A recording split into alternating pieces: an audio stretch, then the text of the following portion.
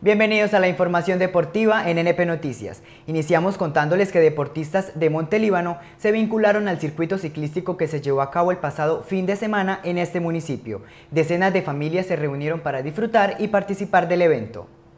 Juan David Duque es un deportista de 30 años de edad nacido en Montelíbano y quien hace tan solo dos años se dedica al ciclismo. Fue el ganador de la etapa en el circuito ciclístico que se llevó a cabo el pasado fin de semana en el municipio. La competición estuvo exigente, pero desde el inicio puso todo su empeño para salir victorioso.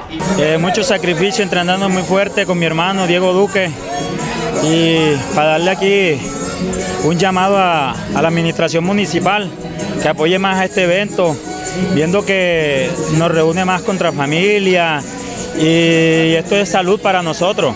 Este apasionado por el ciclismo aprovechó la oportunidad para hacer una invitación a los jóvenes, motivando el aprovechamiento del tiempo libre a través de la práctica del deporte. Aprovechen eh, en cualquier clase de deporte, eh, viendo el que más le llame la atención. Para mí el ciclismo, eh, que se impulsen más a esto y no a a la drogadicción y eso. Los promotores del evento buscan con este tipo de actividades incentivar en los montelibaneses la práctica del deporte y la integración de la familia. Por ello las competencias estuvieron abiertas para hombres y mujeres de todas las edades.